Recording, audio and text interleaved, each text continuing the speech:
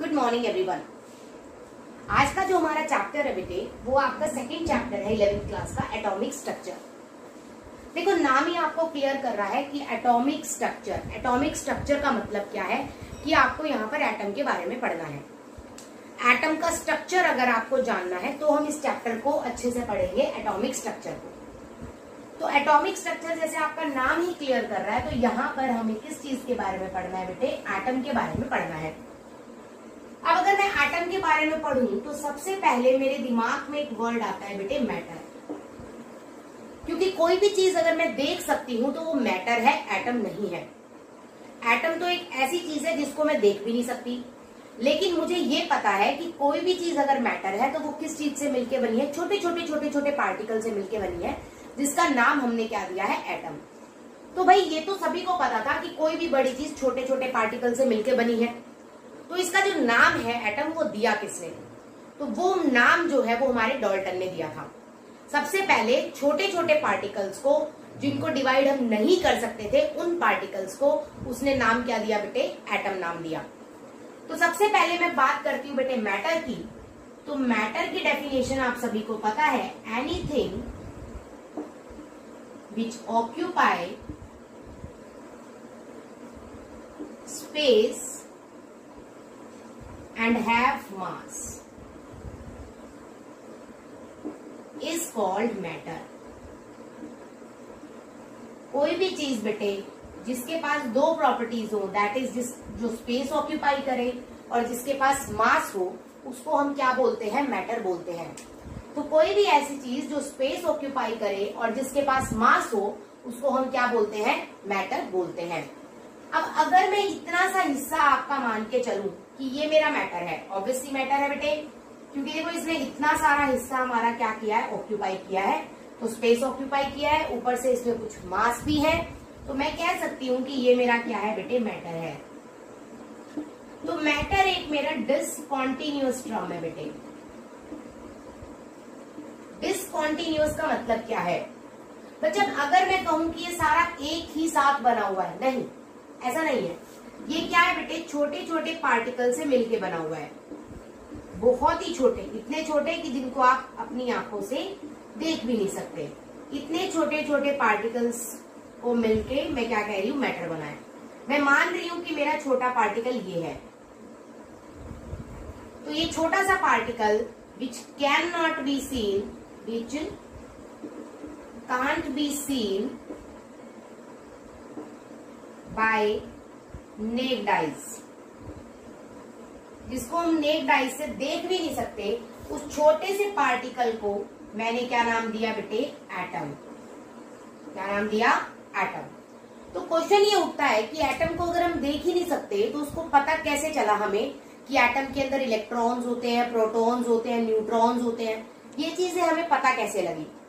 तो सिंपल सी बात है बेटे, अगर आप एटम को देखना चाहते हैं तो आप यूज़ करेंगे एस टी एम को। S stand for scanning T stand for tunneling M stands for microscope.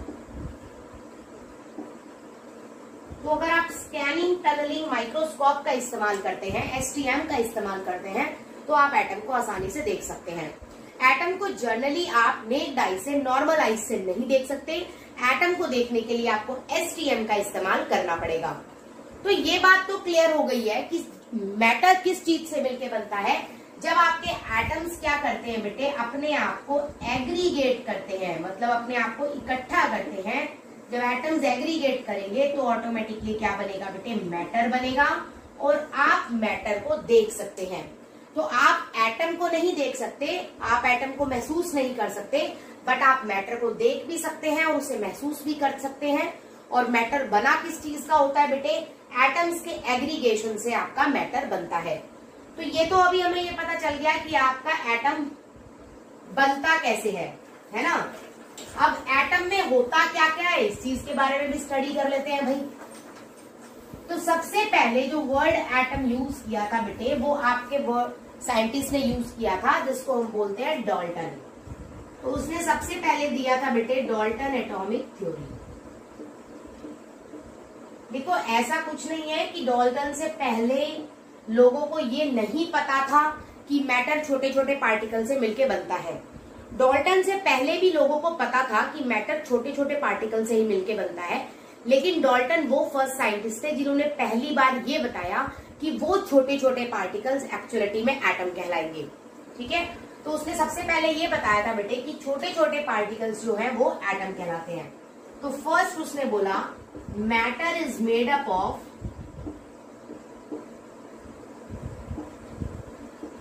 made up of small particles that take part in any chemical reaction जो मैटर है बेटे, वो छोटे छोटे पार्टिकल से मिलके बना होता है और वो छोटे छोटे पार्टिकल्स ही किसी रिएक्शन में हिस्सा लेते हैं। इस बात का मतलब क्या है? अगर मैं बोल दू बेटे कि मेरे पास एक H2 है प्लस एक Cl2 है तो आपको पता है वो HCl बना, है ना? तो इसका मतलब ये बिल्कुल भी नहीं है कि हाइड्रोजन मॉलिक्यूल और क्लोरीन मॉलिक्यूल ने रिएक्ट किया है। एक्चुअलिटी में हाइड्रोजन और क्लोरीन ने रिएक्ट ना करके हाइड्रोजन एटम ने क्लोरीन एटम के साथ रिएक्ट किया है। तो जब कभी भी रिएक्शन टेक्स प्लेस होती है बेटे तो वो एटम्स के बीच में होती है मॉलिक्यूल्स के बीच में नहीं होती। तो हम बात करें सेकंड पॉइंट की। सेकंड पॉइंट में हम बात करेंगे बेटे atoms can not be divided अब अगर इस बात को हम स्टडी करना चाहें तो आप भी अच्छे से जानते हैं कि एटम्स को फर्दर डिवाइड किया जा सकता है into electrons protons and neutrons में। तो एटम्स को आप आगे चल के थ्री पार्ट्स में डिवाइड कर सकते हैं into electrons protons and neutrons ठीक है? तो ये बात भी इसकी गलत साबित हो गई कि atoms can not be divided उसके बाद अगर मैं बात करूँ बेटे atoms of an element atoms of an element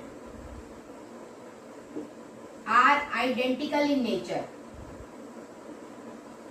are identical in nature देखा जाए तो ये पॉस्टुलेट भी डॉल्टन का गलत साबित हो गया था।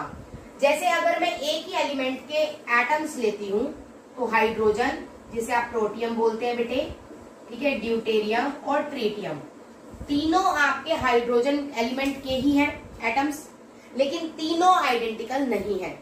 तो अगर हम बात करते हैं बेटे आइसोटॉप्स के बारे में तो क्योंकि उस टाइम पे बच्चा आइसोटॉप्स की डिस्कवरी नहीं हुई थी।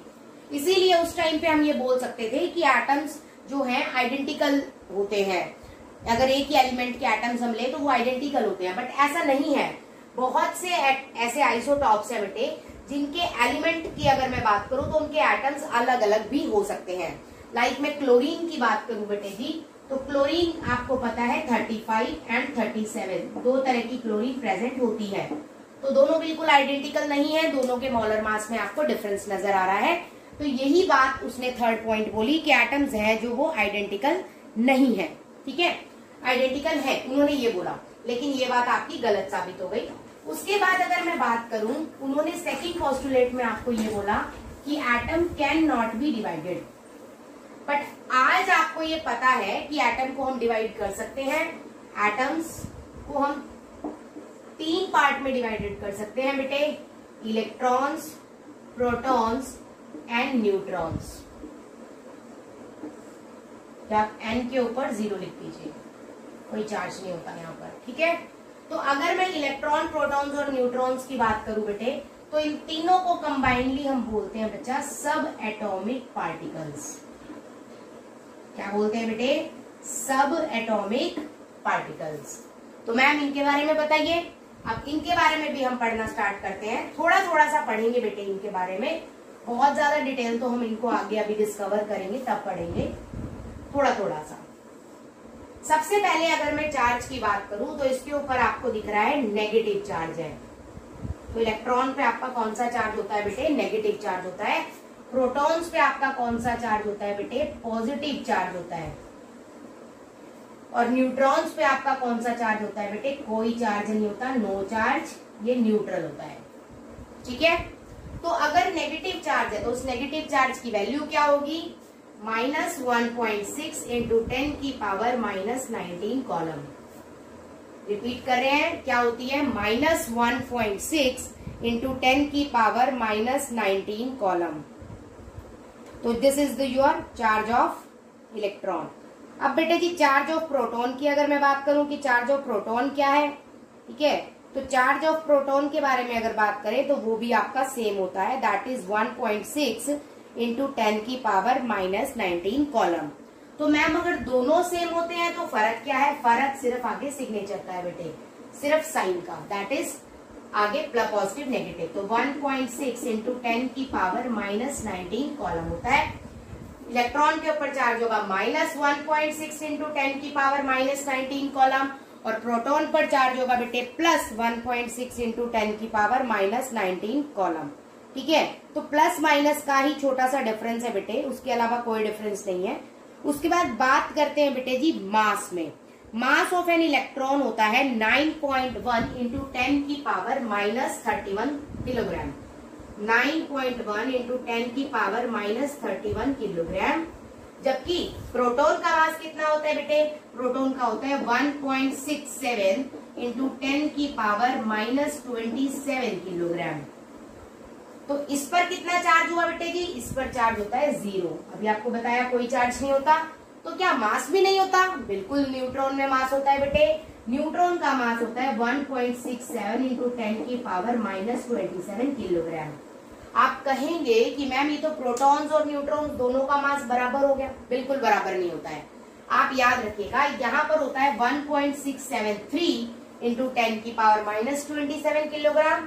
यहाँ होता है 1.675 point six seven five into ten की पावर माइनस ट्वेंटी किलोग्राम। तो आपको दिख रहा है कि मास ऑफ़ न्यूट्रॉन थोड़ा सा ज़्यादा होता है थोड़ा सा बिल्कुल थोड़ा सा ज़्यादा होता है बेटे किससे? मास ऑफ़ प्रोटॉन से। लेकिन अगर मैं बात करूँ बेटे इलेक्ट्रॉन की तो यहाँ पावर देखिए बेटे 27 27 चल रही है। लेकिन यहाँ कितनी चल रही है बेटे? माइनस थर्टी वन तो इलेक्ट्रॉन का मास क्या होता है? बहुत ही ज़्यादा कम होता है किससे बेटे? मास ऑफ़ प्रोटॉन और न्यूट्रॉन से। इसीलिए हम नॉर्मल कैलकुलेशन में इसको क्या करके चलते हैं बेटे? निग्लेक्ट करके चलते हैं। नॉर्मल कैलकुलेशंस के अंदर मास ऑफ़ इलेक्ट्रॉन को निग्लेक्ट किया जाता है। जबकि मास ऑफ़ न्यूट्रॉन और प्रोटॉन को लगभग क्या लिया जाता है बेटे? थोड़ा सा सेम लिया जाता है। क्योंकि अप्रोक्सीमेटली सेम ही है। देखो, बहुत थोड़ा सा फ़र्क है। बट है तो तो सबसे ज़्यादा हैवियर अगर मैं बात करती हूँ, कौन सा होता है? न्यूट्रॉन्स ठीक है? और सबसे ज़्यादा हल्का कौन सा होता है आपका? इलेक्ट्रॉन होता है। तो अभी हमने सिर्फ़ इतना पढ़ा है कि एटम्स को आगे तीन पार्ट्स में डिवाइड किया जा सकता है। That is electrons protons and neutrons और इन्हीं इलेक्ट्रॉन प्रोटॉन्स और न्यूट्रॉन्स को हमने एक नाम क्या दिया है बेटे जी? सब एटॉमिक पार्टिकल्स अब हमने सब एटॉमिक पार्टिकल्स के ऊपर चार्ज पढ़ा कि इलेक्ट्रॉन के ऊपर चार्ज होता है नेगेटिव प्रोटॉन्स पे होता है बेटे पॉजिटिव जबकि न्यूट्रॉन पे कोई चार्ज नहीं होता। इसी तरह से चार्ज की अगर मैं वैल्यू बोलूँ तो इलेक्ट्रॉन पे होगा 1.6 पॉइंट सिक्स इंटू टेन की पावर नाइन, नाइनटीन नेगेटिव का, और प्रोटॉन पर होगा 1.6 पॉइंट सिक्स इंटू टेन की पावर नाइनटीन पॉजिटिव वन, और न्यूट्रॉन पर कितना होता है बच्चा? ज़ीरो। अगर मैं मास की बात करूँ तो सबसे ज़्यादा मास किसमें होता है? आपके न्यूट्रॉन में। दैट इज़ 1.675 इंटू टेन की power minus twenty seven kilogram. Protons में होता है बेटे 1.673 इंटू टेन की power minus twenty seven kilogram, और इलेक्ट्रॉन्स में होता है बेटे 9.1 इंटू टेन की power minus thirty one kilogram. इसके बाद अगर मैं बात करती हूँ बेटे जी सब एटॉमिक पार्टिकल्स की डिस्कवरी ये हुई कैसे? तो सबसे पहले we are talking about the cathode rays discovery आप लोगों ने टेंथ क्लास में एक एक्सपेरिमेंट पढ़ा था बेटे डिस्चार्ज ट्यूब एक्सपेरिमेंट तो वही डिस्चार्ज ट्यूब एक्सपेरिमेंट ही हम आज यहाँ पे पढ़ने वाले हैं। ठीक है डिस्चार्ज ट्यूब एक्सपेरिमेंट में ही हम डिटेल स्टडी करेंगे अबाउट द कैथोड रेज तो अगर मैं बात करूँ बेटे, सबसे पहले डिस्कवरी ऑफ़ इलेक्ट्रॉन्स की।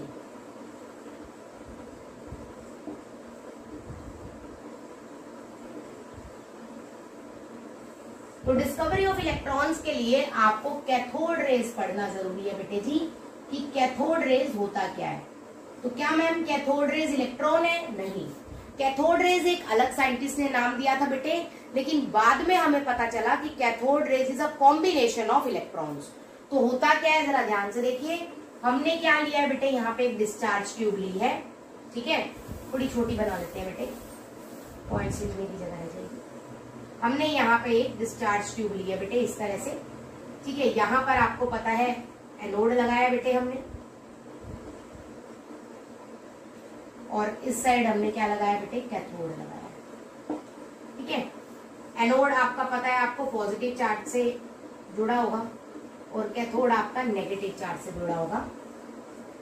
यहाँ पर जो मैंने बैटरी ली है बेटे, वो हाई वोल्टेज है राजे। दैट इज़ टेन की power five volt approximately minimum ये लेके चलनी है। ठीक है? यहाँ पर मैंने बेटे थोड़ी सी गैस भर रखी है, सिर्फ़ थोड़ी सी। तो यहाँ पर गैस है बेटे at low pressure that is ten की पावर माइनस फाइव एटमोस्फेयर देखो, आसान है याद करना, वो टेन की पावर माइनस फाइव एटमोस्फेयर है और ये टेन की पावर फाइव वोल्ट है है ना? तो दोनों लगभग सेम से है। अब उन्होंने क्या किया, यहाँ पर जिंक सल्फाइड की लेयर लगा दी बेटे। क्योंकि अगर इलेक्ट्रॉन, प्रोटॉन या न्यूट्रॉन कुछ भी निकलता है तो आपको ऐसे नज़र थोड़ी ना आएगा। तो यहाँ पर उन्होंने एस की वो लगा दी। ये फॉस्फोरिसेंस होती है बेटे। फॉस्फोरेसेंस का मतलब होता है जब इससे कोई चीज़ टकराएगी, इलेक्ट्रॉन, प्रोटोन मतलब चार्ज पार्टिकल कोई टकराएगा तो इसमें चमक पैदा हो जाएगी। उस चमक को देखकर हमें पता लगेगा कि इस तरफ़ कुछ ना कुछ आ रहा है। तो हुआ क्या बेटे? उन्होंने यहाँ से हाई वोल्टेज अप्लाई किया। जैसे ही उन्होंने वोल्टेज अप्लाई किया तो आपको पता है कि इस तरफ़ आपका क्या है बेटे? इलेक्ट्रॉन ने फ्लो करना स्टार्ट कर दिया। ठीक है? अब हुआ क्या बच्चा? यहाँ पर आपकी गैस है। जैसे मैं मानती हूँ कि मैंने हाइड्रोजन यहाँ फिल कर रखी है। तो यहाँ पर हाइड्रोजन है तो बेटे लो प्रेशर पे है तो एटम्स दूर दूर होंगे। इस तरह से हाइड्रोजन इसी तरह से हाइड्रोजन एक ही हाइड्रोजन इस तरह से मैंने बना दी। अब आप अच्छे से जानते हैं बेटे हाइड्रोजन को अगर मैं ले रही हूँ तो बीच में सेंटर में न्यूक्लियस होगा और यहाँ पर एक इलेक्ट्रॉन है। सेम सभी के सेंटर में न्यूक्लियस और इलेक्ट्रॉन ये मैंने न्यूक्लियस बना दिया बच्चे, ये इलेक्ट्रॉन ये न्यूक्लियस है राजे, ये इलेक्ट्रॉन ठीक है? तो क्या हुआ बच्चे, यहाँ से जो फास्ट मूविंग इलेक्ट्रॉन है, अब बच्चा बहुत ही हाई वोल्टेज है तो फास्ट मूविंग होगा, बहुत ही तेज़ी से भाग रहा है इलेक्ट्रॉन तेज़ी से भागता हुआ इलेक्ट्रॉन जब यहाँ कैथोड से निकलेगा तो वो एकदम से क्या करेगा, आपके हाइड्रोजन एटम के इलेक्ट्रॉन से टकराएगा। और कोलाइड करके इस इलेक्ट्रॉन को बाहर निकाल देगा। इस इलेक्ट्रॉन को बाहर निकाल देगा। अब चलते चलते बेटे ये वाला जो बाहर निकला हुआ इलेक्ट्रॉन है अगले इलेक्ट्रॉन से टकराएगा और इसको बाहर निकाल देगा बेटे इस, तरह से। इसी तरह से बेटे ये फिर अगले एटम से टकराएगा इसको बाहर निकाल देगा। तो क्या हो रहा है यहाँ पर? जैसे यहाँ से इलेक्ट्रॉन्स निकले हाई वोल्टेज आपने अप्लाई की जैसे यहाँ से इलेक्ट्रॉन निकले बेटे वो एटम से टकराते जा रहे हैं और ड्यू टू कोलिजन जो आउटर मोस्ट शेल में इलेक्ट्रॉन है बेटे, वो बाहर निकलता जा रहा है। तो एक तरह से गैस क्या हो रही है बेटे? गैस आयोनाइज हो रही है। दैट इज़ कोई भी अगर गैस है, मैं हाइड्रोजन ही ले लेती हूँ। कोई भी अगर गैस है तो वो एच पॉजिटिव प्लस इलेक्ट्रॉन में कन्वर्ट हो रही है। या मैं कोई भी गैस ले रही हूँ, मैं कह रही हूँ ऑक्सीजन है तो कन्वर्ट हो जाएगी ओ पॉजिटिव प्लस इलेक्ट्रॉन में। या अगर मैं कह रही हूँ नाइट्रोजन डाली है मैंने तो कन्वर्ट हो जाएगी एन पॉजिटिव प्लस इलेक्ट्रॉन में। तो हो क्या रहा है बेटे? यहाँ तक समझने की ज़रूरत है, बहुत ज़रूरी। कि जैसे यहाँ से आपने कैथोड रेज पे जैसे ही हाई वोल्टेज अप्लाई किया तो इस तरफ़ से इलेक्ट्रॉन ट्रेवल करते हुए आपके एटम से टकराए और एज अ रिज़ल्ट कोलिजन की वजह से इलेक्ट्रॉनिक कोलिजन की वजह से आपके इलेक्ट्रॉन जो एटम में थे बेटे, वो बाहर निकल गए। तो गैस आपकी आयोनाइज हो गई। अब ये जो बाहर निकले हुए इलेक्ट्रॉन्स है बेटे, अब इनपे साइज़ आपको पता है, इनपे कौन सा चार्ज है बेटे? नेगेटिव चार्ज है। तो जब इन पे नेगेटिव चार्ज है बेटे तो ये positive plate that is cathode को पॉजिटिव लिया है सॉरी एनोड को पॉजिटिव लिया है, और कैथोड को हमने क्या लिया है? नेगेटिव लिया है। तो जो नेगेटिव चार्ज है बेटे इलेक्ट्रॉन्स पे, वो ट्रेवल करना शुरू कर देंगे बेटे किसकी तरफ़? आपके एनोड प्लेट की तरफ़। तो क्योंकि ये रेस जो है, वो आपकी कैथोड की तरफ़ से निकली थी, इसीलिए इन रेस को हमने नाम क्या दे दिया बेटे? कैथोड रेस अब ये एक्सपेरिमेंट किया किसने था बेटे? ये एक्सपेरिमेंट सबसे पहले फैराडे ने किया था। फैराडे ने इलेक्ट्रॉन को डिस्कवर नहीं किया था बेटे। फैराडे ने सिर्फ़ ये बताया था कि जब हम डिस्चार्ज ट्यूब एक्सपेरिमेंट के अंदर गैस को फिल करते हैं तो उसके अंदर गैस क्या हो जाती है बेटे? आयोनाइज हो जाती है। और जब आपकी गैस आयोनाइज होती है तो कैथोड की तरफ़ से बीम निकलती है रेज निकलती हैं। और उन रेज का नाम उसने क्या दे दिया बेटे? कैथोड रेज दे दिया। बाद में आपके साइंटिस्ट आए बेटे, जॉनसन, ठीक है? Sorry J J Thomson. बाद में आपके साइंटिस्ट आए जे जे थॉमसन। जे जे थॉमसन ने ये बोला कि ये जो आपकी रेज है ना, ये कोई इलेक्ट्रोमैग्नेटिक रेज नहीं है। ये जो रेज है that is just a beam of electron ये सिर्फ़ इलेक्ट्रॉन्स की बीम है, और कुछ नहीं है। तो ये बात आपकी discovery of electron leads to J J Thomson. जबकि कैथोड रेज के लिए हम किसको क्रेडिट देते हैं? फैराडे को। उसके अलावा लुइस प्लक्कर भी आपके एक साइंटिस्ट आए थे बेटे, जिन्होंने ये शो किया था कि अगर गैस को डिस्चार्ज ट्यूब एक्सपेरिमेंट में भर दिया जाए लो प्रेशर पे और हाई वोल्टेज पे तो गैस आयोनाइज हो जाती है और अगर कोई चीज़ आयोनाइज हो जाएगी तो वो इलेक्ट्रिसिटी को कंडक्ट करेगी। जनरली अगर हम देखें कि हम कमरे में बैठे हैं और यहाँ पर कहीं स्पार्क हो जाए बेटे तो स्पार्क होने की वजह से ऐसा कुछ नहीं है कि हम कमरे में बैठे और हमें करंट लग जाएगा। दैट मीन्स हमारी जो गैस प्रेजेंट है सराउंडिंग में, वो कंडक्शन का काम नहीं करती। लेकिन अगर उसी गैस को मैं लो प्रेशर पे कर दूँ तो मेरी गैस क्या हो सकती है बेटे? आयोनाइज हो सकती है। और आयोनाइज हुई हुई गैस कंडक्शन का काम बिल्कुल करती है। ठीक है? तो दिस इज़ की कंडक्शन भी किसने प्रूफ की? लुइस प्लकर ने। ठीक है? कैथोड रेस के बारे में किसने बताया? फैराडे ने। और इलेक्ट्रॉन्स के बारे में किसने बताया? जे जे थॉमसन ने। तो तीन चीज़ें एक ही एक्सपेरिमेंट से सामने आई। जैसे प्रोटॉन्स की डिस्कवरी भी इसी एक्सपेरिमेंट में हुई थी। लेकिन वो बहुत सालों बाद हुई थी, ठीक है? उसको जब हम एनोड रेज में आपको पढ़ाऊँगी, तब मैं उसको कराऊँगी। तो यहाँ पर हमने अब तक ये पढ़ा कि जैसे ही मैंने हाई वोल्टेज अप्लाई किया तो हाई वोल्टेज अप्लाई करते ही मेरे इलेक्ट्रॉन्स की बीम इधर से ट्रेवल हुई, जिन्होंने जो गैस अंदर प्रेजेंट थी एटॉमिक गैस अंदर प्रेजेंट थी, उसके एटम्स के आउटर मोस्ट शेल में जो इलेक्ट्रॉन्स है, उनको हिट करना स्टार्ट किया कोलिजन करना स्टार्ट किया। As a result outermost shell के इलेक्ट्रॉन्स क्या होंगे बेटे? बाहर निकल गए। तो आपके इसके अंदर आयोनाइज्ड गैस भर गई। चाहे जो भी आपने भरी हो, कोई फ़र्क नहीं पड़ता। हाइड्रोजन भरी है तो एच पॉजिटिव प्लस इलेक्ट्रॉन आ जाएँगे। ऑक्सीजन भरी है तो ओ पॉजिटिव प्लस इलेक्ट्रॉन आ जाएँगे। नाइट्रोजन भरी है तो H N positive plus electron आ जाएँगे। तो कोई भी गैस आपने भरी हो, यहाँ पर इलेक्ट्रॉन्स इकट्ठे हो गए बेटे। और क्योंकि फास्ट मूविंग बेटे, अगर एक पत्थर आप बहुत तेज़ी से फेंकोगे ना तो वो पत्थर ना लग के बीम लगेगा जैसे एक रेज आ रही है, ऐसे लगेगा। इसीलिए जैसे ये फास्ट मूविंग इलेक्ट्रॉन बच्चा आ रहे थे एनोड की तरफ़ कैथोड से तो उनको लगा देखने में फैराडे को माय गॉड ये तो एक रेज आ रही है। तो इसीलिए उन्होंने इस रे को नाम क्या दे दिया बेटे? कैथोड रेज नाम दे दिया। ठीक है? तो this is all about your cathode rays की डिस्कवरी अब अगर कैथोड रेस की प्रॉपर्टीज़ के बारे में बात करें तो ठीक है प्रॉपर्टीज़ के बारे में बात करते हुए हमें दो चार बातें अब हम ध्यान में देंगे कि कैथोड रेस की प्रॉपर्टीज़ में हमें क्या क्या पढ़ना है। आप यहाँ तक कॉपी कर लीजिए।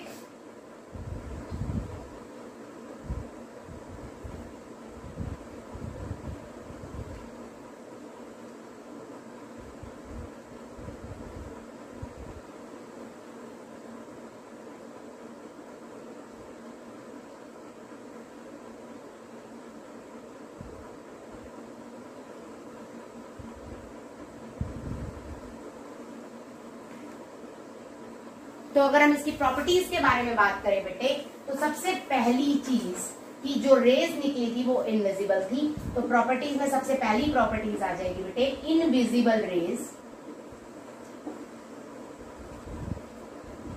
coming from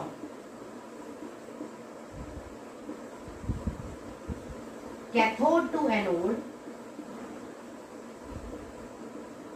is called cathode rays invisible rays थी बेटे, हमें दिखी कैसे? तो आपको याद होगा कि मैंने स्टार्टिंग में यहाँ पे फॉस्फोरेसेंस जिंक सल्फाइड लगाया था बेटे। तो जैसे ही आपकी रेस पे टकराएगी, तभी आपका क्या हो जाएगा बेटे जी? चमक पैदा हो जाएगी। और उस चमक को देखकर आप कह सकते हो कि यहाँ पर क्या है? आपकी कोई ना कोई चार्ज पार्टिकल टकराया है। अब वो चार्ज पार्टिकल पॉजिटिव की तरफ़ आया है तो दैट इज़ उस चार्ज पार्टिकल में कौन से बेटे? नेगेटिव चार्ज है। तो सेकेंड पॉइंट यही ले लेंगे it must contain negative charge बेटे। अभी तो पॉजिटिव की तरफ़ अट्रैक्ट हो रहा है negative charge that is it is made up of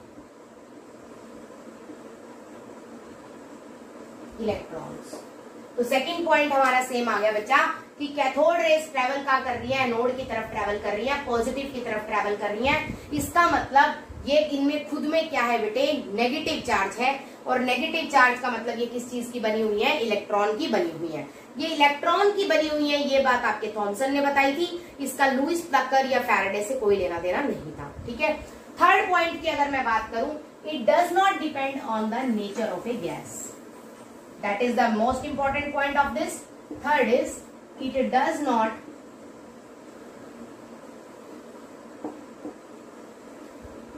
depend on nature of a gas किसी भी गैस के नेचर पे डिपेंड नहीं करती। क्यों नहीं करती? बेटे, वही सेम चीज़ हाइड्रोजन अगर कन्वर्ट होगा एच पॉजिटिव और इलेक्ट्रॉन में ऑक्सीजन कन्वर्ट होगा ओ पॉजिटिव और इलेक्ट्रॉन में नाइट्रोजन कन्वर्ट होगा एन पॉजिटिव और इलेक्ट्रॉन में। तो हर तरफ़ जो रेज है बेटे वो सिर्फ़ इलेक्ट्रॉन से मिलकर बनी है। तो इलेक्ट्रॉन चाहे हाइड्रोजन का हो चाहे ऑक्सीजन का ना, चाहे नाइट्रोजन का उससे कोई फ़र्क नहीं पड़ता। तो इसी रीजन की वजह से हम कह सकते हैं कि जो इसका जो नेचर है इट्स नेचर आप लिख लीजिए बेशक। It's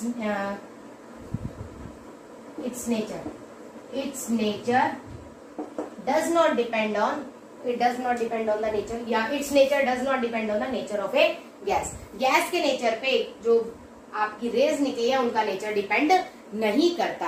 अब बेटे ऑब्वियसली बात है कि इसके पास जो है पार्टिकल्स वाली सारी प्रॉपर्टीज़ होंगी ठीक है? तो अगर मैं बात करूँ मैकेनिकल नेचर की तो जैसे मैंने यहाँ पे बेटे एक छोटा सा पैडल लगा दिया इस तरह से। अब पैडल देखो मतलब आ, क्या बोलते हैं उसे? जो हल्का सा पंखा सा होता है उसकी बात कर रही हूँ मैं। कोई मतलब साइकिल का पैडल मत लगा देना या स्कूटर का पैडल नहीं लगाना है। हल्का सा लगाना है बिल्कुल। तो जैसे ही रे आएँगे बेटे, रे इससे टकराएँगे और ये पैडल क्या करने लग जाएगा? इसे मूव करने लग जाएगा। तो जैसे आप हल्का सा एक पंखा सा पकड़ लो और उस पर पानी की धार मारोगे तो जैसे पैडल मूव करता है, उसी तरह से कैथोड रे भी पैडल को मूव कर सकती है। तो इसकी फोर्थ प्रॉपर्टी हम कह सकते हैं इट हैज़ मैकेनिकल नेचर बेटे। कौन सा नेचर है बेटे इसके पास? मैकेनिकल नेचर है। तो that means that can move paddle ठीक है? लिख लीजिएगा आप। तो इसका मतलब मैकेनिकल नेचर है, इसीलिए ये पैडल को मूव कर सकती है। ठीक है? उसके बाद अगर मैं फिफ्थ पॉइंट की इसकी बात करूँ बेटे तो बच्चा, आपको दिख रहा है कि ये इलेक्ट्रॉन की बनी है मतलब इसके ऊपर चार्ज है। चार्ज है तो बेटे it deflect by it deflect by electric field and magnetic field तो it deflect by electric field as well as magnetic field electric field और मैग्नेटिक फ़ील्ड से डिफ्लेक्ट होगी। देखो, समझने वाली बात है बेटे, इनके ऊपर चार्ज क्या है? नेगेटिव चार्ज है। तो अगर आप इसको इलेक्ट्रिक फ़ील्ड में अप्लाई कर देते हैं तो पॉजिटिव की तरफ़ ये झुकी चली जाएगी। तो उसी रीजन की वजह से इसने बोला है डिफ्लेक्ट बाय मैग्नेटिक फ़ील्ड और इलेक्ट्रिक फ़ील्ड अगर मैं बीच में यहाँ पतला सा बेटे एल्यूमिनियम फॉइल लगा दू तो ये बहुत स्पीड से आ रही है बेटे। फास्ट मूविंग स्पीड मतलब इलेक्ट्रॉन है। तो ये बेटे जैसे ही, और मास भी है इलेक्ट्रॉन में, है ना, आपने पढ़ा भी।